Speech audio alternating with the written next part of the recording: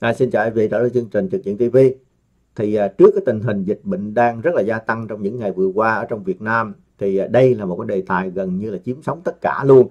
À, mọi người đều quan tâm đến vấn đề này, không chỉ là những người trong nước không mà ngay cả những cái kiều bào Việt Nam ở hải ngoại cũng vậy. Luôn à, hướng về Việt Nam bởi vì nơi đó còn có những người thân nhân của mình, đó là quê hương của mình. Và hiện giờ thì à, đang à, phải tập trung và chống chọi rất là khó khăn đối với cái dịch Covid-19 này thì thật ra thì những người Việt Nam ở hải ngoại cũng đã có một số những cái kinh nghiệm rồi. Thí dụ như những người mà ở tại Mỹ đó thì trong năm trước cũng đã trải qua những cái thời cuộc rất là khó khăn. Người ta thấy rằng ngay cái thời điểm mà Hoa Kỳ đó là vượt qua cái con mốc là 100.000 người bị nhiễm thì um, khi đó cái số lượng người mà gọi là bị tử vong nó cũng gia tăng và càng lúc cái tốc độ nó lây lan càng rất là nhanh thì um, hiện giờ thì ở Việt Nam của chúng ta cũng vậy. Nếu mà tính cái con số ngày hôm qua cũng đã vượt qua cái mốc là 100.000 người bị nhiễm. Thì uh, cái điều kiện sống của Việt Nam của chúng ta là một cái um, nơi mà có thể nói cái mật độ dân số rất là cao cụ thể như là thành phố Hồ Chí Minh với Hà Nội.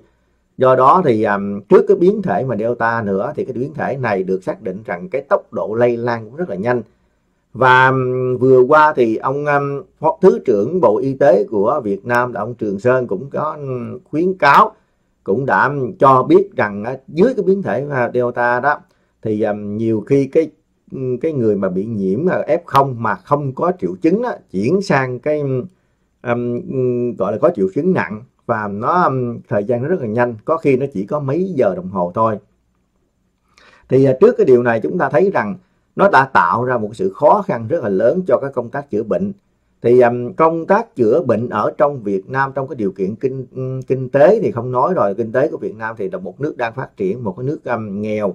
Và cái hệ thống y tế thì um, cũng à, đang được củng cố và đang được cải thiện chứ cũng chưa phải là nó có đủ các cái sức mạnh. Ai cũng thấy rằng nó có nhiều cái sự mà yếu kém và khi cái dịch bệnh nó, nó tăng một cái đột biến thì um, nó sẽ vỡ cái hệ thống y tế. Nói chung là nó sẽ um, không thể nào chịu đựng được. Và um, không phải là thời điểm này mà trước đây à, một hai tuần lễ thì thành phố Hồ Chí Minh cũng đã phải chi dụng rồi. Và ngay cả ông chủ tịch ủy ban nhân thành phố Hồ Chí Minh cũng phải yêu cầu là bộ y tế chi viện khoảng chừng thêm 7.000 người nữa. Mặc dù là trước đó đó thì à, bộ y tế cũng đã chuyển vào thành phố Hồ Chí Minh là tăng cường lực lượng cũng đã hàng ngàn người rồi tuy nhiên thì um, vì trong cái điều kiện hiện nay đó phải nói là cái lực lượng y tế phải à, phân tán um, ra nhiều cái lĩnh vực để mà làm việc khác nhau cho nên rằng người ta cũng sẽ bị yếu đi. Và nói chung là bây giờ thì cái cường độ làm việc của những cái nhân viên y tế nó quá quá nhiều đi. Cho nên rằng um, chắc chắn là mà nó sẽ tự thiếu thiếu thốn. Thì um, chúng ta thấy là những ngày vừa qua trên mạng xã hội xuất hiện cũng um, lác đác và ở um, nơi này nơi kia ngay cả trong những cái khu chữa bệnh nữa. Người ta đã thấy à, những cái hình ảnh của những cái người mà um, bệnh nhân hay ngay cả um, trong cái điều kiện mà được chăm sóc á, y tế có nhiều nơi cũng quá tải có nhiều nơi cũng rất khó khăn.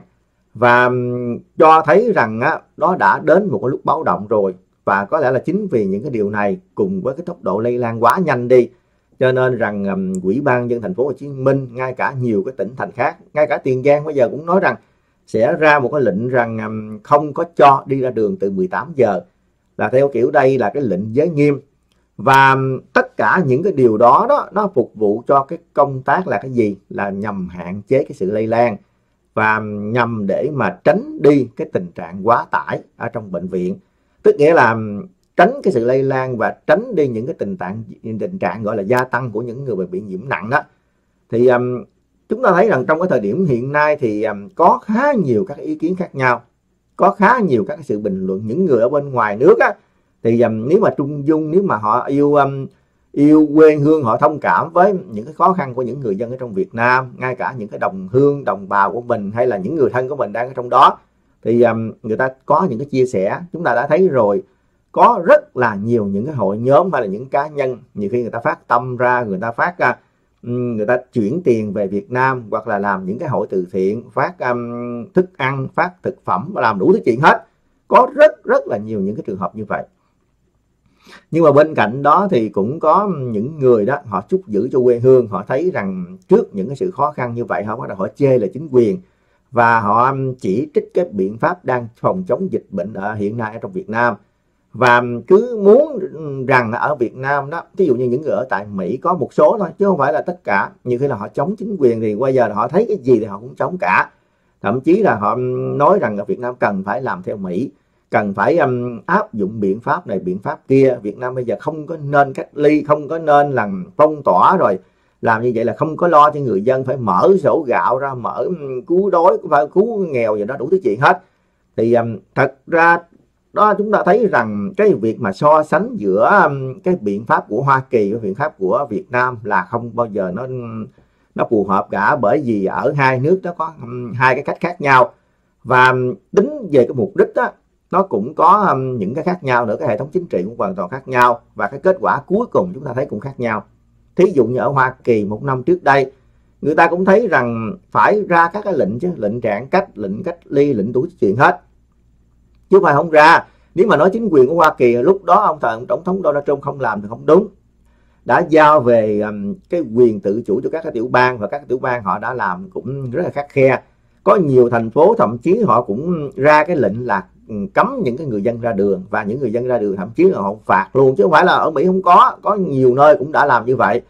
Nhưng mà ừ, vì ở luật pháp của Hoa Kỳ đó cái người dân họ ừ, họ nói rằng cái lệnh cái cái họ chống lại những cái lệnh như vậy và họ muốn nói rằng cái quyền tự do của họ và họ nói rằng cái thân thể họ họ phải chịu trách nhiệm. Cho nên là họ cứ ban ra ngoài đường. Chúng ta đã thấy rằng những cái cuộc xuống đường biểu tình rồi những cái cuộc tập họp ở ngoài biển theo cái kiểu um, rất là tự do đó nó đã làm cho cái tốc độ lây lan của Hoa Kỳ nó lên một con số rất là kinh khủng.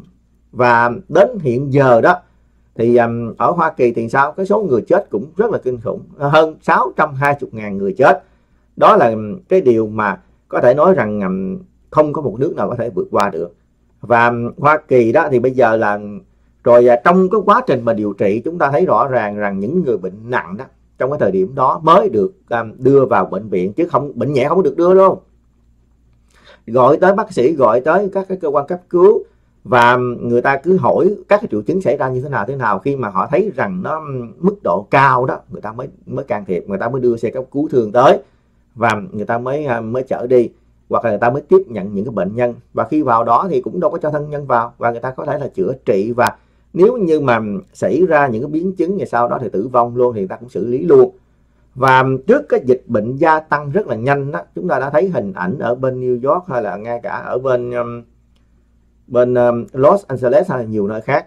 Thật ra thì Mỹ lúc đó đó cũng um, phải xây dựng thêm rất là nhiều các cái các cái trại ở bên ngoài của bệnh viện. Thí dụ như những cái bệnh viện là Fountain Valley là ngay cái trung tâm của cái vùng lý đô Sài Gòn này người ta cũng phải xây um, cái láng trại ở bên ngoài um, coi những cái khu đậu xe để mà làm cái bệnh viện giống như là giả chiếm thêm đó. Tăng phòng ra tăng những cái giường ra. Nhưng mà chỉ sau một thời gian ngắn thì người ta thấy rằng cái việc đó cũng không cần thiết nữa mà người ta dẹp. Nhưng mà cũng phải có những sự chuẩn bị. Ngay cả ở bên ở bên mà mà, mà New York chúng ta thấy hình ảnh rất là nhiều. Bệnh viện giả chiến rồi nào cả, cả máy móc thiết bị cũng hô hào rằng thiếu máy móc máy thở đủ thứ chuyện hết. Rồi um, thiếu nhân viên y tế. Phải kêu gọi những nhân viên y tế mà gọi là à, đã nghỉ hưu rồi đó ừ, trở lại. Và những cái tiểu những cái nhân viên y tế của các cái tiểu bang khác cũng phải đổ xô về um, New York. Và ngay cả Los Angeles cũng vậy một chiếc um, tàu hải quân 1.000 giường cũng đã được um, tập kết ở một cái biển ở một cái cảng và cái cảng Long Beach. Và nó sát với um, cái um, cái cảng của cái hãng mà gọi là à, cái hãng Giang Min đó cái hãng tàu Giang Min và ngay cả ở bên à, New York cũng vậy cũng có một cái chiếc tàu tương tự như vậy. Và người ta thấy rằng trong cái thời điểm đó rất là quá tải. Và cái sự căng cứng cái sự tập trung của cái lực lượng y tế mặc dù Hoa Kỳ nói rằng rất là mạnh nhưng mà khi cái lây lan nó quá nhanh đi, cái tốc độ mà chuyển biến nó trở nặng lên các cái bệnh nhân á, nó trong cái thời điểm à, tích tắc trong cái thời điểm của mấy ngày thôi, nó nó dồn lại người ta xử lý không kịp. Và những cái sự can thiệp y tế à, và cách điều trị lúc đó cũng đang rất là lúng túng. Và chính vì cái điều này cho nên là những cái sự, những cái ca tử vong đầu tiên á, và nó dồn lại và người ta không có đủ để mà xử lý và đã thấy những cái hình ảnh của những cái chiếc xe đông lạnh được um, chở đến để mà chứa những cái xác như vậy. Thì thật ra đó là hình ảnh rất là thảm thương. Những hình ảnh đó thì um, không ai muốn thấy cả. Nhưng mà bây giờ ở trong Sài Gòn ở trong um, à, nhiều cái khu vực ví dụ như giờ Bình Dương cái tốc độ cũng tăng rất là nhiều. Và những cái bệnh viện trong cái thời gian vừa qua phải um, tập trung rất là nhiều. Và người ta thấy rằng cái ca tử vong cũng đang gia tăng và trước cái biến thể Delta như thế này đó thì um, nếu như mà họ mà cái tốc độ mà họ phải sử dụng um, máy thở nhiều đó hoặc là sử dụng cái uh, sự can thiệp của oxy nhiều thì rất có thể là bị thiếu oxy nữa mặc dù là có chuẩn bị mặc dù là Bộ Y tế nói rằng có những cái phương án dành cho mấy chục ngàn người, mấy trăm ngàn người hay là những cái tình huống xấu, tình huống này, tình huống kia.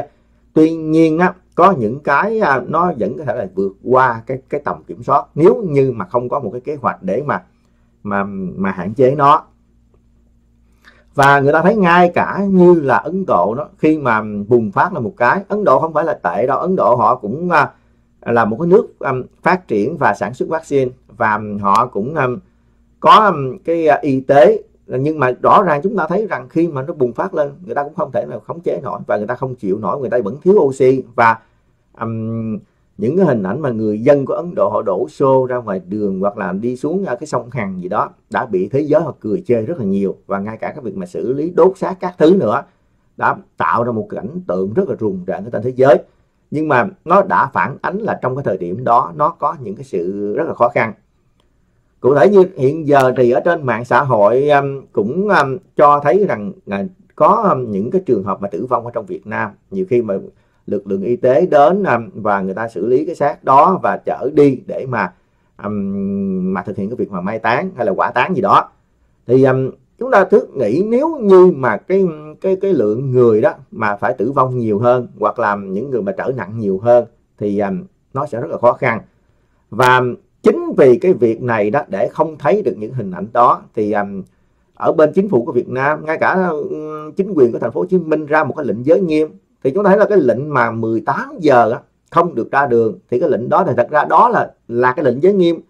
Và cái lệnh giới nghiêm là giới nghiêm ban đêm thay vì giới nghiêm cả ngày thì bây giờ người ta giới nghiêm ban, ban đêm để um, hạn chế tối đa cái việc ra ngoài đường. Nhưng mà trong um, những ngày qua đó thì ở trên mạng xã hội cũng có rất nhiều các cái tin giả những cái tin mà nó đưa ra nó làm cho hoang mang rất là nhiều người. Người ta cũng không biết đâu là thật đâu là giả nữa. Và những cái tin nó giả nhiều khi nó đến từ nước ngoài nữa. Nó đến từ ở bên mỹ nó đến từ ở nhiều nơi khác. Nó đến từ những cái lực lượng gọi là chống cộng sản. Hay là những cái um, người mà họ nói là đấu tranh dân chủ nhân quyền gì họ cũng ngay trong cái thời điểm này là thời điểm họ cũng tung rất là nhiều các cái tin để um, lôi kéo những cái quần chúng ở trong Việt Nam để mà nhiều khi cứ ai cũng biết rằng cái thời điểm này là thời điểm khó khăn khó khăn của cả nước Việt Nam khó khăn của từng người Việt Nam. Ngay cả người giàu họ cũng có khó khăn chứ đừng nói là người giàu không có khó khăn. Người giàu thì thay vì làm ăn tốt hơn hôm đó tới nay là được lãi nhiều hơn được thu tiền nhiều hơn thì bây giờ lại ít đi. Còn người nghèo thì họ có khó khăn của những người nghèo. Còn người mà đứng trước cái bờ vực à, của cái sự đói nghèo đó hay là cái sự mà mà, mà khó khăn thì bây giờ họ còn khó khăn hơn. Ai cũng thấy được điều đó. Nhưng mà chính về cái à, biết được cái điều đó này đó cho nên là nhiều khi họ kích động vào trong cái lĩnh vực đó để mà tạo ra à, thêm những cái sự lôi kéo và tạo thêm những cái sự hiềm khích và tạo ra một cái làn sóng gì đó. Nhiều khi họ mơ tưởng rằng có một cái làn sóng đổi thay một cái làn sóng à, cách mạng mà nhắm vào những cái lực lượng này. Bởi vì à, cứ nhắm vào cái chỗ là tại sao chúng tôi ở nhà chúng tôi là bị chính quyền chính quyền làm như vậy là mất cái quyền tự do là bắt người ta ở nhà như vậy và không có cho cơm không cho gạo không cho tiền không có cứu trợ đi. À, so sánh qua bên nước Mỹ họ làm những cái điều này điều kia. Và thuốc men đâu thu tiền của chúng tôi rồi sao sao không có thuốc men? Thuốc men này lại phân cho ông này bà kia bà nọ chuyển ra miền Bắc chuyển miền Trung chuyển miền Nam gì đó thí dụ như vậy. Thì um, họ cái chuyện nhỏ họ xé ra chuyện to chuyện to họ sẽ họ làm ra chuyện lớn hơn nữa. Rồi um, kiếm đặt ra hàng loạt những cái vấn đề để mà kích động lên cái thù hận rồi kích động thêm cái sự mà ừ, ganh đua rồi, rồi các là à, kỳ thị rồi đủ thứ chuyện hết. Và chúng ta thấy rằng trở về cái vấn đề của Mỹ đó Mỹ họ hoàn toàn nó khác ở Việt Nam. Thật ra thì à, cái nền kinh tế của Mỹ họ nó có cái chiều sâu và nó có sự phát triển mấy trăm năm nay rồi. Và ở Mỹ nó họ có một cái kinh phí lớn để mà chăm sóc cho những người dân mà nó mang cái chất ổn định đó, là bởi vì họ họ có cái sự thu thuế rất là nhiều. Người dân ở Hoa Kỳ đã bị đánh thuế rất là nặng. Có thể nói um, thí dụ như những người dân ở trong Việt Nam có một cái căn nhà đi một cái căn nhà thì um, cứ thấy một năm đóng tiền thuế nhà rất là ít không có bao nhiêu hết nhưng mà ở Mỹ đó um, thấp nhất là phải một phần trăm. Thí dụ như một căn nhà mà chúng ta um, có khoảng chừng một tỷ đó thì à, một năm phải đóng là bao nhiêu? 10 triệu đúng không? Phải báo đóng là 10 100 ngàn đó là một năm phải đóng 1 ngàn. Một cái căn nhà mà 500 ngàn phải đóng 5 ngàn một năm. Và nếu như đó ở một số các tiểu bang khác có khi họ đóng tới 3 phần trăm hoặc là 4 phần trăm. Như ở bên là um, Texas á, nhiều khi một căn nhà 300 ngàn một năm có thể đóng tới 9 10 ngàn Mỹ Kim. Trong khi đó thì ở Việt Nam đâu có đóng đâu. Rồi ngay cả các cái thuế nữa khác nữa thuế khác Việt Nam đóng cũng rất là ít thí dụ như là ở Mỹ mua hàng hóa đó, ở trong siêu thị thì thường có nhiều tiểu bang thí dụ như California thì như cũng 9 chấm. Khi mà mình mua một cái cái máy này cái điện thoại thì dùng một ngàn đô thì mình phải đóng tiền ở trong đó hết 90 đô rồi cái tiền gọi là tiêu thụ rồi. Rồi um, hàng năm còn phải đóng cái tiền gọi là khai thuế nữa là cái tiền thu nhập nữa thu nhập gia đình thu nhập cá nhân còn phải đóng thêm nữa. nhất là những người mà độc thân họ đóng rất là nhiều. Người độc thân làm làm cái lương mà căn bản hai ba chục ba bốn chục ngàn gì ba chục ngàn trở lại thì um, có khi một năm đóng bảy tám ngàn là chuyện bình thường. Và những cái con số này nó tạo ra một cái quỹ rất là lớn. Cái quỹ nó tạo để cho cái um, cái cái cái xã hội người ta làm rất là nhiều thứ. Thì thật ra người ta lấy của cái um, cái của mình để mà ta lo cho mình thôi. Và ở Việt Nam thì uh, cái nền kinh tế đang phát triển mà nếu mà áp dụng cái thuế như vậy đó có nhiều cái ý kiến trước đây cũng đặt ra cái vấn đề là ở Việt Nam hình như thu thuế nó không có đầy đủ thu thuế nó cũng còn à, bỏ sót nhiều, có nhiều người họ làm giàu, họ có cái tài sản nhưng mà họ đóng thuế chưa có tương xứng. Và bây giờ thì à, trước đây thì bộ tài chính cũng có một cái đề xuất là thu thuế lên những cái căn nhà đó, những cái người mà sở hữu nhà. Rồi và sau đó cũng đưa ra cái khấu trừ là một tỷ tỷ mốt gì đó. Nhưng mà cái lệnh đó ra là ngay, bị ngay là lập tức là bị bị à, phản đối rất là nhiều, bị đưa ra rất là nhiều các ý kiến và tới giờ thì người ta cũng ngưng luôn nói chung thì um, cái chính quyền Việt Nam nếu nói rằng um, cái việc mà tận thu thuế đó giống như ở bên Mỹ đó mà nếu mà họ áp dụng như vậy thì um, có lẽ rằng à, cái à, thặng dư nó nhiều hơn rồi. Nhưng mà ngược lại thì theo như các cái tiêu chí của cái chính quyền của Việt Nam người ta đặt ra là à, xây dựng theo cái đường hướng sau chủ nghĩa và phục vụ cái đối tượng con người. Và càng tạo cái áp lực hơn cho cái đời sống của những người dân để mà người ta có những cái sự tích lũy cá nhân. Thì cái điều này nó nó phản ánh đúng thôi, theo cái đường hướng mỗi nơi khác nhau. Không thể so sánh là Mỹ tốt hay là Việt Nam tốt, hay là mình nói rằng là phải như thế này, thế như kia. Bởi vì mỗi nơi nó có sự khác nhau, và người thấy rõ ràng ở Mỹ có thể là có cái cơ hội làm ăn, có cái à, điều kiện sống là bởi vì nó có cái sự ổn định và nó có sự phát triển rất là cao mấy trăm năm nay rồi. Cái công việc làm, cái lương nó cao đúng nhưng mà ngược lại cái áp lực trong cái cuộc sống của Hoa Kỳ rất là nặng. Có thể nói là người ta mất việc trong vòng vài tháng trời thôi. Thì um, cái căn nhà có thể bị kéo ngay lập tức. Và cái căn nhà đó thì um, ngân hàng họ kéo họ cũng chả cần cái lệnh tòa án nữa. Không phải như ở Việt Nam mà ngân hàng phải kiện ra tòa rồi tòa thậm chí là phải thi hành án rồi cơ quan thi hành án đến um, phát mãi rồi đấu giá làm đủ thứ chuyện lúc đó mới đủ người ta đi. Hoặc là mới uh, thu hồi được cái vốn còn không đó đâu. bên đây ngân hàng nằm không trả nợ vài tháng nó đến nó dán niêm phong ở trong nhà rồi, và thậm chí nó tống mình ra khỏi nhà. Cái người thuê nhà cũng vậy. Nói chung rằng luật lệ ở đây thì nó nó rất là chặt, rất là khó khăn. Ở bên Việt Nam cũng vậy, nhưng mà nó có những cái sự di du, nó có những cái sự mà người ta nói rằng sống nó có tình cảm hơn, và có một cái sự trang hòa hơn, và người ta có một sự thông cảm. Còn ở Mỹ thì nó nó mang cái khắc khe hơn. Và chính vì những cái điều đó đó có khá nhiều những cái người họ mất nhà vì cái gì? Vì những cái biến cố xảy ra trong cuộc đời. Và có những từ thiện họ lo và về vấn đề cơm ăn áo mặc à, họ cho để mà không có chết thôi. Nhưng mà ngược lại thì sao? Họ đâu có cho nhà họ đâu có cho xe họ đâu có cho những cái điều khác. Muốn những cái điều đó mình phải đi làm. Và một khi mất việc làm thì nó sẽ mất tất cả. Thậm chí là mất luôn nha. Um, chuyện ờ, cái cái cái cái, cái tình cảm trong gia đình nữa. Nó đủ chuyện hết trơn à và ở nước Mỹ thì sao? Um, người ta vẫn có những cái vấn đề tồn tại của họ. Thí dụ như à, hồi trước giờ Mỹ um, đang à, rất là à, tự hào về um, cái cái dân chủ nhân quyền về vấn đề mà lo con người làm dân sinh đủ thứ chuyện hết. Nhưng mà nước nào cũng vậy khi mà đến Hoa Kỳ ở những cái thành phố lớn như là New York ngay cả như Los Angeles và nhiều nơi khác nữa người ta thấy rằng người homeless những người không có nhà cửa sống ở ngoài đường. Rồi họ che những cái liều bạc họ đi đứng họ làm lung tung ở trên đường. Nhất nhát đó đó là những hình ảnh rất là xấu xa những hình ảnh đó là nỗi ô nhục của Hoa Kỳ. Nhưng mà cái giới chính trị gia của Hoa Kỳ đó gần như nó không bao giờ nó muốn tập trung giải quyết cho nó dứt điểm cái việc này. Đã có quá nhiều những cái đề xuất quá nhiều những cái ý kiến.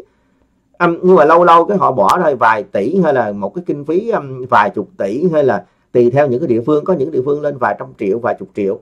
Rồi um, họ cứ gom những cái người đó lại để mà xử lý dứt điểm dứt điểm. Không bao giờ chúng ta nghe đến dứt điểm cả. Và cứ um, đụng tới thì nói là có cái nhân quyền là mà không có được quyền bắt người ta người ta đâu phải là tội phạm đâu tại sao lại gom người ta vô chỗ này chỗ kia? Nói chung là họ cứ à, đổ thừa cho cái luật pháp của Hoa Kỳ và cái quyền của con người. Nhưng mà cái quyền gì không cần biết ở chỗ là anh có cái quyền sống ở trên cái vỉa hè hay là anh có cái quyền sống ở trên cái khu công cộng cái khu mà những cái người khác họ phải nai lưng là họ làm họ đóng thuế để mà à, tạo ra những cái con đường như vậy thì bây giờ bị chiếm dụng và bị những hình ảnh mà à, homeless homeless ở nó nhếch nhát rồi à, anh được quyền tự do ở trên ở phía trước cái căn nhà hay là ở phía trước um, cái lề đường đó là phía trước căn nhà hay phía trước một cái khu um, kinh doanh của một cái người khác à, và những cái điều đó nó có vi phạm vào cái quyền tự do của anh nó vi phạm vào cái quyền tự do của người khác hay không? Và như vậy thì à, luật pháp đó nó không có can thiệp vào. Và nếu mà không can thiệp lại như vậy thì chúng ta thấy rằng không khó mà bây giờ mà không có giải thích được. Tới thế giới ví dụ như khi mà đến Bắc Kinh đến à, Tokyo đi rất là nhiều nơi trên thế giới người ta không thấy những cái cảnh mà những cái kẻ buồn đời sống ở ngoài đường như vậy. Những cái người mà gọi là homeless mà những người gọi là không nhà không cửa những người vô gia cư và nó sống đầy hết trơn. Và bây giờ nỗi ô nhục này của Hoa Kỳ đó có thể nói rằng có lẽ là rất là nhiều năm nhiều tháng nữa mà cũng chưa biết người ta có giải quyết được hay không. Đây không phải là mới năm nay nó đã có rất là nhiều năm rồi nhưng mà người ta không có giải quyết tới nơi. Thì um, ngay cả cái vấn đề y tế vậy chúng ta thấy là khi mà can thiệp đến cái vấn đề bệnh hoạn các thứ đó cũng phải qua nhiều tầng nhiều lớp. Mặc dù có bảo hiểm đó nha phải gọi tới rồi um, người ta phải uh, phải cho phép hay không, rồi à, nó coi cái cách cách điều trị như thế nào, rồi nó chuyển tiến ra làm sao, rồi lấy hẹn tới, lấy hẹn lui, rồi à, đủ thứ chuyện hết. Có khi nó chấp nhận cho cái cách này, không chấp nhận cho cách kia, không có anh còn những cái bệnh mà rất là nặng hơn có khi cái sự can thiệp của nó cũng rất là chậm trễ, nhất là những người mà bị ung thư, người ta đã lên tiếng rất là nhiều.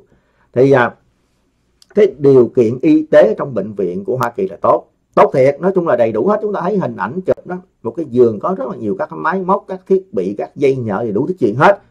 Nhưng mà để tiếp cận được những cái điều kiện chăm sóc đó đó nó phải um, phải có đủ cái điều kiện mà họ đưa ra. Ví dụ như cái um, hệ thống bên y tế rồi à, những cái tổ hợp y tế họ có chấp nhận hay không và họ coi là cái bệnh đó có um, có đến cái mức phải à, can thiệp hay không. Và khi đi vào bệnh viện thì gần như họ lúc nào cũng muốn đuổi mình ra sớm. Nói chung rằng um, những người mà đi xanh à, hoặc là đi um, mổ đi làm những cái những cái nằm cái một ngày hai ngày ca lắm ba ngày họ đẩy đi. Và những bệnh rất là nặng đó mà thì phải à, à, phải thiệt là nặng người ta mới có thể là chấp nhận. Cho nên á, nó không có dễ dàng và ngay cả những cái lực lượng y tế hay là lực lượng mà làm bất cứ cái nghề nào cũng vậy người ta họ phục vụ cho xã hội mà thực tế ra cũng phải được ưu đãi phải được trả tiền. Trong một năm vừa qua ở trong cái việc mà chống chọi covid 19 ở tại Mỹ họ cũng um, hô hào cũng cũng um, tuyên dương cho những người tuyến đầu và um, cái giới y bác sĩ những anh hùng áo trắng các thứ này kia nọ nhưng mà um, chúng ta thấy rằng đó những người đó họ làm việc thứ nhất là về cái chức năng cách của họ không mà họ còn phải được cái cái sự um, ưu đãi rất là nhiều và cái sự đãi ngộ của họ rất là tương xứng. Một cái mức lương họ họ trả như cái gấp rưỡi gấp hai và họ làm rất là nhiều tiền trong một năm vừa qua. Mà nếu mà không có tiền á nói thẳng là họ không làm họ không có thể nói rằng điều động lực lượng này sang lực lượng khác giống như ở trong Việt Nam. Những ngày vừa qua chúng ta thấy rằng lực lượng y tế ở trong Việt Nam họ làm họ làm quá trời luôn. Thậm chí là có nhiều nhân viên y tế nhiều điều dưỡng viên nhiều sinh viên mà gọi là trường y họ đã coi như là xỉu lên xỉu xuống thậm chí là um, không có tranh thủ cái thời gian ăn uống để mà làm việc nữa để mà phục vụ cho người này người kia để mà đáp ứng cái chuyện này chuyện nọ. Bởi vì ai nói rằng đây là một cái nhiệm vụ cách bách rồi nhiệm vụ là chống dịch như chống giặc đủ thứ chuyện hết. Và chỉ trong cái lực lượng y tế không mà những cái lực lượng dân phòng những lực lượng mà bên quân đội hay công an người ta cũng phải tình nguyện viên rất là nhiều. Đó là chưa kể đến cái lực lượng tình nguyện viên ở trong cái um, lĩnh vực mà những cái hội từ thiện cái đó thì chúng ta không nói không ai trả lương cho họ cả. Họ làm um, mà coi như là nó rất là nhiệt tâm. Chúng ta thấy rằng có một số những cái bất cập có một số um, những cái người nhiều khi họ nhận thức không có tới và có một số những cái tổ này tổ kia có khi họ không có nắm vững và họ có cái cách làm sai họ chỉ thế gì đó hoặc là họ giải thích một cách rất là lung tung. Và có phần cũng kiêu ngạo cũng um, coi như là à, cũng um, nó nó đã làm hành những cái người dân ví dụ như vậy. Ví dụ là khi mình ở những cái trạm kiểm soát những cái trạm mà um, mà, mà um, bảo vệ các thứ đó nhiều khi họ cũng cũng làm lung tung. Nhưng mà ở góc độ chúng tôi thấy nó chỉ là ở um, ở mức độ rất là nhỏ thôi. Nói chung không phải là mang chất thành phổ biến. Nếu như mà nó phổ biến đó mới thuộc về cái bản chất. Chứ còn bây giờ chúng ta thấy rằng đây đó cũng có. Nhưng mà một khi đã được phản ánh lên một khi đã được cả cái cộng đồng mạng mà họ lên tiếng một cái thì người ta thấy rằng giới chức chính quyền người ta chỉnh đốn ngay lập tức. Rất là nhiều các cái trường hợp đã như, như vậy chứ ở đâu cũng vậy hết. Thí dụ như ngay tại Hoa Kỳ cũng vậy nữa. Trong cái giới chức của Hoa Kỳ vào một năm trước đó làm nó cũng có những cái bất cập chứ. Thí dụ như ông thống đốc bang California lúc đó thì ông Newsom đó ông ta nói rằng là người dân của Hoa Kỳ á, người dân của um, California không có được đi um, những cái tiệm ăn không có được mở cửa um, và um, không có được ờ, đi vào ăn trong tiệm này kia cái chuyện hết nhưng mà cuối cùng thì um, những cái người mà họ chụp hình họ thấy được là ông Newsom đi người vào một cái nhà hàng mà của của Pháp đó. Cái nhà hàng rất là sang trọng và ăn vào ban đêm và ngồi với một nhóm người mà cũng chả đeo khẩu trang nói cười rất là vui vẻ. Người ta thấy rằng cái đám này á, là nó nói một đường là một nẻo. Rồi ngay cả cái bà Nancy Pelosi là hiện giờ làm chủ tịch hạ viện của Hoa Kỳ cũng vậy cũng ủng hộ là cấm tất cả những cái cơ sở làm ăn kinh doanh phải đóng cửa hết trong cái đại dịch đi, không có được làm mở ra này kia cái nọ. Nhất là tóc neo nhất là những cái dịch vụ phục vụ, dịch vụ con người phục vụ vụ con con người các thứ này kia nọ.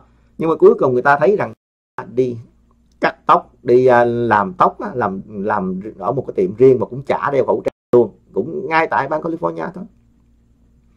Còn rất nhiều các cái trường hợp khác nữa cho nên là chúng ta thấy rằng um, ở đâu nó vẫn có những cái bất cập. Nhưng mà những cái bất cập đó những cái sự mà um, đó nó mang tính chất là lẻ loi nó không phải mang tính chất là một cái bản chất ai cãi ở trong Việt Nam vậy? Thí dụ như trường hợp của bánh mì hay là trường hợp mà um, nói rằng là những cái vaccine đó là được phân bổ ra chích cho người này người kia người nọ thì um, nó vẫn có thể có chứ. Nó vẫn có thể có những cái sự sai trái những cái sự mà nó nó chưa có hợp lý. Vấn đề ở chỗ là người ta điều chỉnh như thế nào hiện giờ đó cái phân bổ vaccine là một cái vấn đề rất là khó rồi. Có thể nói rằng là Việt Nam của chúng ta hiện giờ khi mà cái bùng phát lên là mình mình bị xui xẻo ở chỗ đó, là cái biến thể Delta lan rất là nhanh. Và cái tốc độ của nó đó thì ai cũng đã thấy rồi. Và cái sự nguy hiểm của nó thì bây giờ người ta cũng thấy rằng cái sự chuyển biến nó cũng khá nhanh nữa. Ngay tại bên um, Moscow ngay cả ở bên Nga đó thì um, người ta thấy nước Nga có sở hữu về vaccine và cái tốc độ chích đó thì um, nói tính là tính tới mùa thu này người ta muốn uh, chích đến 60 phần trăm đến bây giờ thì chích cũng không, không không kịp rồi. Và nước Nga hiện giờ có khoảng hơn 400.000 người đã mất mạng về cái Covid-19 rồi con số rất là kinh khủng. Và bây giờ đó thì nước Nga vẫn phải uh, tăng cường cái quá trình để mà thêm xét thêm. Thì thấy rằng nước nào vậy? Trước cái đại dịch này đó họ đều có những sự khó khăn hết sở hữu um, gọi là vaccine mà còn như vậy. Um, gọi là bên pháp bên uh, um, bên anh hay là cứ một cái nước nào những hình ảnh mà đi ra ngoài đường không có xe cộ người ta đã thấy rồi. Thí dụ như bây giờ rằng ở trong sài gòn ở trong um, việt nam làm đường xá không có đi cảnh um, thành phố chết rồi um, à, chính quyền cộng sản làm như vậy làm à, là là là thực hiện cái việc mà áp dụng cái ừ, cái cái cái quyền à, coi như là tước đoạt cái quyền của người dân trong quyền tại quyền tự do sinh sống quyền này. Thật ra chúng ta thấy nước khác đã làm như vậy rồi. Những hình ảnh ở bên ờ, London hay là ở bên nhiều cái thành phố khác ở bên nước Anh đó người ta thấy rằng từ hồi tháng giêng cho mãi đến tháng 5 luôn. Nói chung là trong mấy tháng trời cứ ờ, ừ, cái kiểu là mở đóng mở đóng và đường phố vắng hoe không có ai hết. Và ừ, sau này bắt đầu mới um, sau tháng năm bắt đầu mới um, mới mới có những cái sự đi lại. Nói chung là một rất là kinh khủng. Rồi ngay tại Hoa Kỳ cũng vậy. Hoa Kỳ cũng cả hơn một năm trời có những cái người cũng um, cũng là um, nhiều khi chúng tôi cũng có tiếp xúc có quen biết thì um, nhiều khi chỉ gọi uống cà phê thôi nói là họ bây giờ được chưa? Không ấy um, cuối tuần người ra uống cà phê nha. Họ cũng đi làm trong trong trong cái cái um, văn phòng đó. Nhưng mà nó nói là à, thôi thời điểm mà thôi đợi cho nó hết dịch đi chứ bây giờ đi ra ngoài khi à, có khi là những người trong nhà họ cũng không có yên tâm à, bởi vì họ cũng không muốn mà đi ra ngoài tiếp xúc người này kia người nọ. Ngay cả người ở Mỹ đó mà cũng phải như vậy có khi cả năm trời người ta cũng chưa có muốn đi ra cái quán nữa. họ tự họ nhốt ở trong nhà thôi. À, chứ không phải là cái vấn đề gì. Và cái việc mà nó khó khăn như vậy những cái viễn cảnh những hình ảnh đó nó là phổ biến ở trên toàn thế giới chứ không chỉ riêng ở Việt Nam bây giờ ở Việt Nam là Việt Nam đến chậm hơn người khác rồi đó. Đến chậm hơn những hình ảnh mà trước đây ở bên à, bên Pháp ở bên um, Anh ở bên um, bên Nga coi như là Hàn Quốc ở bên đủ thứ chuyện hết. Ở bên trước đó là ở bên Vũ Hán nữa. Thì à, lần này thì um, nó ập đến cái Việt Nam có thể nói trên cái viện rất là rộng. Và Việt Nam là một nền kinh tế yếu kém một nền kinh tế um, có cái từ phía dưới dĩ nhiên là đang bắt đầu có cái sự phát triển thôi. Chứ Việt Nam không phải là một nước nước giàu ai cũng phải công nhận được cái điều đó. Cho nên á, là đã từ là một cái nước khó khăn thì à, khi mà chống chọi đối với cái dịch này người ta phải làm theo cái kiểu là phải phải cái của nhà nghèo chứ không thể nói theo cái kiểu của nhà giàu được. Và cái mục tiêu quan trọng nhất của Việt Nam là gì? Là bảo vệ sức khỏe bảo vệ tính mạng. Chứ um, không phải là vì vấn đề mà lo làm ăn lo kiếm tiền và ở Mỹ đó thì um, lúc đầu á cái chiến lược mà đưa ra người ta cũng đang rất là lúng túng. Và ở Mỹ cũng vẫn cử cãi chứ vẫn có cái sự tranh luận rất là dữ dằn. Chiến lược của ông Trump đưa ra là nó muốn mở cửa kinh tế muốn làm lung tung. Nhưng mà những người ở trong uh, quốc hội của Hoa Kỳ những cái bộ ban của Hoa Kỳ ngay cả báo chí của Hoa Kỳ cũng rất là nhiều cái sự chỉ trích. Cho nên là nó có một cái sự đấu đá và có có một sự khác nhau giữa tiểu bang này tiểu bang khác cách à, hành xử cách đối phó với covid 19 cũng rất khác nhau. Ở bên này muốn mở cửa kinh tế ở bên muốn um, đóng cửa ở bên này đóng cửa tháng này ở bên đóng cửa tháng kia nó không có một sự đồng bộ. Trong khi đó thì ở Việt Nam đó thì um, nó mang cái chất thống nhất. Cho nên rằng người ta có những cái lệnh à, nó mang chất đồng bộ. Nhưng mà ở đến thời điểm hiện nay ở Việt Nam vẫn chưa có một cái lệnh à, và người ta đã từng thấy ở Mỹ trước đây thường có đó là cái tuyên bố cái tình trạng khẩn cấp tình trạng khẩn cấp ở đây là mang tính toàn quốc gia.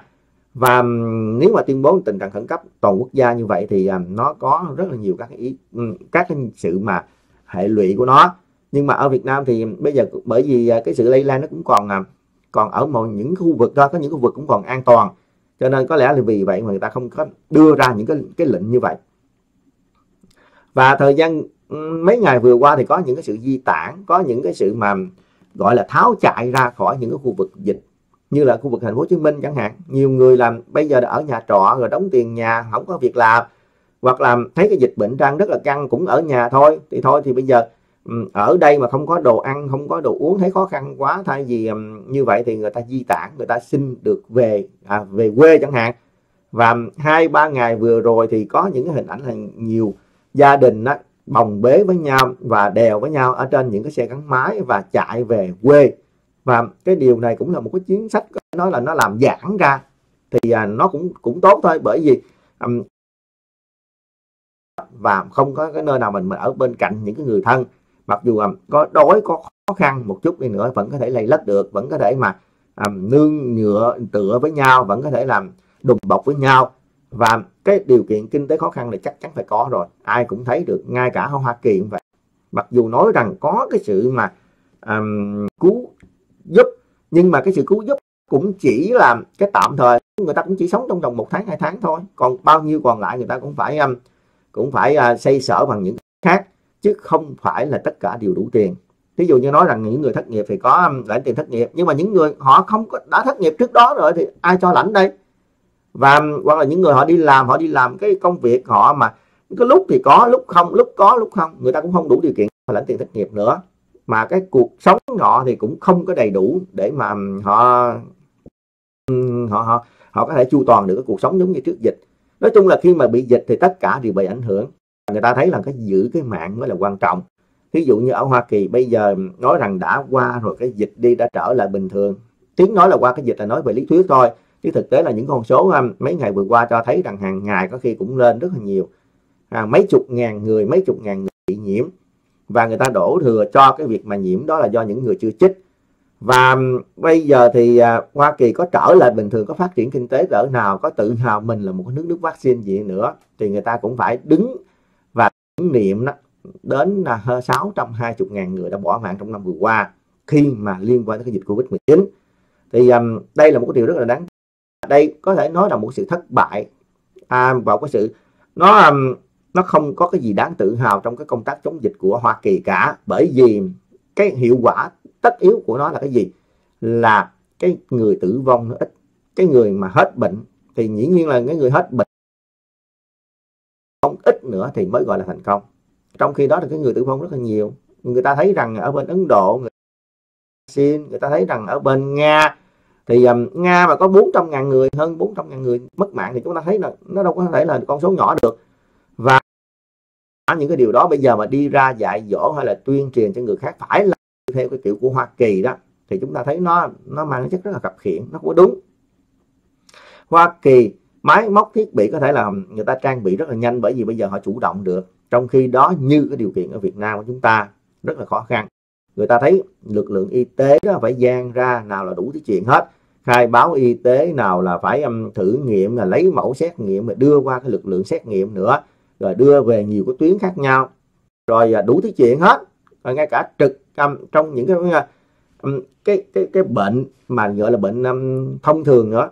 Trong khi trước đó thì ở Mỹ sao gần muốn đóng những cái bệnh thông thường. Những cái bệnh thông thường à, khi mà trường hợp khẩn cấp thôi thì mà cấp cứu thôi. Nhưng còn những cái bệnh mà à, thường xuyên thậm chí là những cái lịch mà chuẩn bị lên mổ lên um, làm cái vấn đề vấn đề khác can thiệp á những cái biện pháp y tế đó cũng hạn chế luôn. Có khá nhiều những người chết oan trong những cái trường hợp giống như vậy. Đâu có ai những cái tổ chức nhân quyền nhân um, chủ gì người ta cũng đâu có bây giờ họ nói tới cái chuyện đó đâu. Và rõ ràng ở Mỹ cũng có rất là nhiều các cái vấn đề. Và um, bây giờ thì um, nói ở Việt Nam cần phải mở cửa cần phải làm đủ thứ chuyện hết thì tất cả những cái điều đó nó không phù hợp khi mà người ta đi ra bên ngoài nó đã tạo ra một sự lây lan. Và chắc chắn một điều cái cái số lượng người mà bị nhiễm nặng đó nó sẽ tăng rất là nhanh. Nhất là những người già những người già trong những ngày vừa qua những hình ảnh trên mạng xã hội cho thấy rằng những người già phải sử dụng những cái cái chụp vào trong cái miệng đó trong cái mũi để thở oxy rồi ngay cả máy thở ngay cả các bệnh viện nhiều khi cũng không có đủ các cái giường để mà nằm nữa. Thậm chí là à, những cái nhiều chỗ um, họ khó khăn quá mà cùng một lúc tăng nhanh quá cái lực lượng mà F1 F0 chứ. Và um, ngay cả cái mật độ trong cái phòng nó cũng nhiều. Và um, và thực tế cũng cho thấy rằng cái số lượng mà bị nhiễm à, dương tính đó, nằm ở trong những khu cách ly cũng nhiều nữa tỏa cũng nhiều. Thì đây là cái cách có lẽ là người ta cũng phải thay đổi. Có khi mà nó bị bùng phát ra quá nhiều người ta cũng để đẩy về gia đình. Mà nếu đẩy về gia đình để mà cách ly thì cái gia đình phải có đủ điều kiện và cái nữa là cái gia đình đó thì cũng phải nằm ở trong cái khu phong tỏa. Phong tỏa là gì? Một cái lệnh giới nghiêm, một cái lệnh hạn chế để đi ra ngoài đường trong cái thời điểm này là nó hợp lý thôi.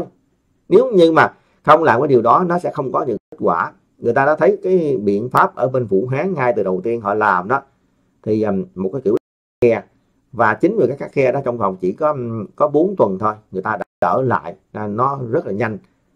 Và bây giờ thì um, phải làm như vậy thôi. Và thiết nghĩ rằng khi người ta làm khắc khe hơn nữa và khắc khe chỉ trong vòng mấy tuần thì nếu mà cái cái số lượng người nhiễm mà nó nó đứng lại và nó đi xuống thì có đó là một sự thành công. Và thấy rằng nó sẽ trở lại bình thường. Và ngay cả Ấn Độ thì bây giờ cũng đã trở lại bình thường. Cho nên rằng hiện nay đó thì có quá nhiều các cái thông tin. Thông tin nhiều khi họ chỉ xói họ um, chỉ trích hoặc kích động họ làm đủ thứ chuyện hết. Um, thậm chí là có những cái kênh youtube hay là những cái trang mạng đó họ ra rã họ làm lung tung hết. Họ chửi à, chế độ họ chửi um, chính quyền họ chỉ trích. Nhưng mà không hiểu sao lại có một cái lượng người họ theo dõi rất là nhiều. Có lẽ là người dân ở Việt Nam à, thì họ thích nghe chửi um, chính quyền hoặc là họ có cái sự ấm ức gì đó mà họ chưa có nói được. Thì bây giờ um, gặp người khác họ nói thì họ đi theo hay sao? Hay là họ bị ru ngủ họ bị dẫn giải bởi vì um, những cái kẻ mà họ dùng những cái việc mà um, họ họ chỉ trích cái chính quyền hay chỉ trích um, cái cách mà đang hành xử um, trong cái việc mà chống dịch hiện nay ở trong Việt Nam. Thì um, họ trộn giữa um, những cái ý kiến thiệt ý kiến giả chuyện tin giả tin thiệt thì đủ chuyện hết và họ dẫn dắt họ dẫn dắt từ từ từ từ từ từ mà đến một cái lúc đó có khi là um, nhiều khi là nghe cho vui thôi nhưng mà đến một lúc là gần như là ghi nghe rồi có một lúc là nhiều khi đi theo họ luôn. Và như vậy thì nó rất là nguy hại bởi vì hiện giờ đó mà mà nếu như đó, những cái người mà họ bị bệnh, những người mà nằm ở trong cái cái phòng gọi là ICU cái phòng cấp cứu hay là cần cái, có cái máy oxy thở, hoặc là cần cái cái việc mà can thiệp của các bác sĩ, khi mà có quá nhiều các cái triệu chứng sống sốt, nặng, khó thở đó, khi đó người ta mới thấu hiểu được. Cái thấu hiểu được là là ừ, những cái hạn chế một chút về cái quyền tự do, hay là một hạn chế một chút về, thế nhưng mà nó đảm bảo được cái cuộc sống thí dụ như chỉ cần lách qua thỏng mấy tuần lễ thôi, thì người ta có thể khỏe được. Dĩ nhiên trong thời điểm hiện nay thì có rất là nhiều cái ý kiến liên quan đến cái việc mà chính phủ nên hỗ trợ. Và rõ ràng cái chính phủ Việt Nam hiện giờ cũng đang có những cái gói cứu trợ. Trước đây thì họ nói là những cái gói cứu trợ đó có khi là phải lên TV lãnh. Đó phải cần phải thực hiện trên thực tế. Và nếu như đã có các cái gói cứu trợ như vậy thì mỗi người một triệu rưỡi thì cái đối tượng nào đúng là phải khai báo đầy đủ rồi à, phải phát đúng phát đủ cho người ta. Chứ um, nhiều khi là lợi dụng mấy anh ở uh, thôn ấp hay là ở địa phương đó nhiều khi là cũng gại bà con cô bác dòng họ của mình vào các cái danh sách đó mà lãnh rồi tạo ra một cái sự không công bằng. Thì những cái điều đó là những cái điều là gì? Những người dân mình phải có sự lên án. Mình có thể theo dõi và um, những ngay cả những cái cá nhân ở trong cái cái chỗ đó người ta cũng phải um, phải giám sát lẫn nhau. Rồi um, ở bên chính quyền người ta cũng đề nghị là có lẽ là biện pháp như là hiện giờ đó ờ, mấy ngày vừa qua thì có nhiều cái ý kiến. Ờ, có vấn đề là bây giờ thiếu nợ ngân hàng rồi đến thời hạn phải trả rồi đến thời hạn hạn rồi bây giờ không không đi ra ngoài được làm sao nộp tiền đây? Rồi làm sao rút tiền làm sao đủ thứ chuyện hết? Hoặc là ừ, đến lúc đóng tiền điện rồi hoặc là đóng tiền nhà đóng tiền cửa gì đó bây giờ không có đi ra ngoài được phải giao sự đủ thứ chuyện hết. Như vậy thì à, làm sao ai có phạt hay không? Rồi ở bên chính quyền sao? Hoặc là thậm chí có xe hơi đi đăng kiểm đã đến hạn rồi. Và nếu mà à, không đi ra ngoài đăng sao? Ra những cái điều này có là ở phía bên chính phủ hay là ở phía bên um, cơ quan văn bản hướng dẫn hơn. Thí dụ như ở tại Hoa Kỳ thì lúc đó Hoa Kỳ ra luôn một cái lệnh luôn là những người chủ nhà trong cái thời điểm này không được quyền đuổi nhà. Thí dụ như chúng ta muốn không thấy được những hình cảnh đó, mà nó khó khăn như là có những cái người chủ nhà trọ họ quăng đồ của những cái người mà thuê trọ đó thiếu nợ hai ba tháng trời mà không có trả được. Cái điều đó là rất bất nhẫn nhất là trong cái đại dịch như thế này. Đại dịch bão lụt thiên tai hay là hay là địch họa gì đi nữa thì à, rõ ràng là trong cái điều kiện đó phải phải tước bớt một số những cái quyền và phải chấp nhận cho người ta à, có cái sự san sẻ với nhau để mà đảm bảo được cái đời sống của những người dân. Tức nghĩa là có lẽ sau này sẽ ủng hộ họ sao? Có sau này sẽ ưu đãi về thuế má riêng. Nhưng mà bây giờ thì tạm thời là các anh không có được quyền đuổi nhà người ta. Trong cái thời điểm này, một tháng, hai tháng, ba tháng gì đó. Và ngân hàng có thể là phải khoanh lại rồi phải có những quyết định. Và rất là nhiều các cái trường hợp khác như là điện nước cũng vậy. Ví dụ như giờ nói là phải đóng tiền điện, không đóng người ta đúng cắt điện sao? Cắt nước. Nếu trong thời điểm mà dịch bệnh như thế này người ta có thiếu điện, thiếu nước một, hai tháng trời mà cắt điện của người ta một cái, người ta chết ngay lập tức các nước người ta người ta cũng chết nữa. Và điều đó là cái điều không thể chấp nhận được rồi. Những cái điều đó là có lẽ là phải um, tránh. Thực tế thì những này là những điều có lẽ là người ta lo xa thôi. Nhưng mà trong thực tế không biết được. Nhiều khi không biết là các cái anh à, công ty nước công ty điện gì đó có khi cũng um, cũng áp đặt theo những cái cái lệnh mà của thời thời um, bình thường đó. Cái thời không phải là thời khẩn cấp. Cái thời không phải là cái lúc mà thực hiện các quy định như thế này thì rõ ràng khi mà chính phủ họ có những cái quy định can thiệp vào cái việc mà um, gọi là giới nghiêm đó hay là gọi là giãn cách à, đặc biệt này thì rõ ràng những cái lệnh khác đó, những cái hoạt động những cái giao dịch bình thường nó phải ngưng. Và nó là um, nó có cái lý do chính đáng để mà phải ngưng cho nên không ai phải chịu trách nhiệm cả. Đó là căn cứ theo luật pháp. Và chúng ta hy vọng rằng um, với cái à, điều kiện mà nó à, giãn cách nó khó khăn như thế này đó thì trong một thời gian khoảng chừng hai ba tuần nữa nó sẽ có cái kết quả tốt hơn. Và nếu như mà nó không tốt hơn có khi người ta phải làm nặng hơn nữa. Bởi vì ở điều kiện của Việt Nam không thể làm khác. Ở điều kiện của Việt Nam đó là cái kinh tế khó khăn rồi ngay cả cái y tế cũng khó khăn. Và để à, cái mục tiêu cao hơn nữa là muốn để cho cái tỷ lệ tử vong rất là thấp. Nó thấp nhất mà có thể được á, thì không còn cách nào á, là tránh cái sự lây lan thôi và cái sự lây lan đó nó nó nếu mà để cho lây lan thoải mái rồi điều trị thoải mái không có nước nào chịu nổi. Kiểu nước Mỹ còn chịu nổi luôn nữa ngay cả bây giờ là chúng ta thấy rồi ở bên nga cũng không chịu nổi luôn. Mặc dù họ nói là họ có thuốc men có đủ thứ nhưng mà họ cũng không chịu nổi.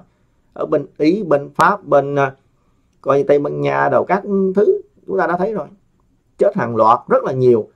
Và chắc chắn một điều rằng á, thì um, trong thời điểm này sẽ có rất là nhiều ý kiến khác nhau nhất là cái giới gọi là hoạt động dân chủ nhân quyền cái giới um, đấu tranh gì đó thì họ cũng sẽ um, dịnh vào những cái cớ này để mà họ đưa ra rất là nhiều các ý kiến. Nhưng mà chúng ta phải um, phải nghĩ lại là trong cái điều kiện của Việt Nam nó khác hoàn toàn. Nó không giống ai cả. Ở Mỹ đó nó vẫn có những cái mặt trái. Nếu mà nói rằng ở Mỹ là um, mà không có tham ô tham nhũng không có hối lộ hoặc là không có um, sai trái đâu không đúng. Có hết á mặt nào nó cũng có hết á. Nó có nhưng mà nó tinh vi hơn nó kín đáo hơn không có. Tại sao? Tất cả các cái quan chức của Hoa Kỳ đều giàu có. Và ai cũng có tài sản rất là nhiều. Và giờ lý giải những cái tài sản là do đâu? Có phải là do chức vụ quyền hạn của mấy anh đâu đưa ra hay không? Thì nói về những cái vấn đề ờ, đó nó quá xa thì nó có quá nhiều các cái cái thông tin để mà chúng ta nói chúng ta sẽ nói những cái đề tài khác. Còn hôm nay thì chúng ta chỉ tạm dừng ở đây thôi. Rất là cảm ơn quý vị. Xin um, kính chào.